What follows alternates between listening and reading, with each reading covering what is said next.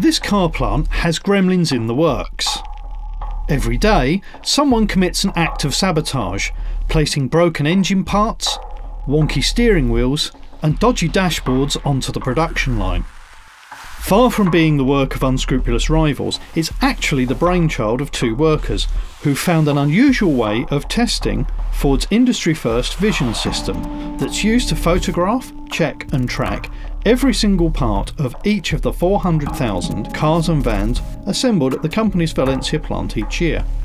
In the last 10 years, the technology has used evolved and has used changed our way of life. In the same way, our production lines have evolved. This technology is not used only protecting our engines in the future, also in the past. The Gremlins test is an innovative way of making sure that the new process is working correctly.